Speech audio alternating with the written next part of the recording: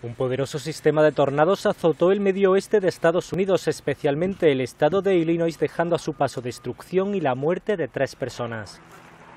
En total, el Servicio Nacional de Meteorología de Estados Unidos registró 24 tornados en un sistema tormentoso que afectó a los estados de Arkansas, Iowa, Indiana, Illinois, Ohio, Kentucky y Tennessee. En Ottawa, unos 115 kilómetros al suroeste de Chicago, la caída de un árbol causó la muerte a un hombre de 76 años. Además, otras 14 personas fueron hospitalizadas en esa población de 19.000 habitantes por heridas de diversa consideración. Unos 350 kilómetros al sur de Ottawa, en Crosby, otro tornado causó desperfectos en una vivienda en la que murió un hombre de 71 años y en la que su esposa quedó herida.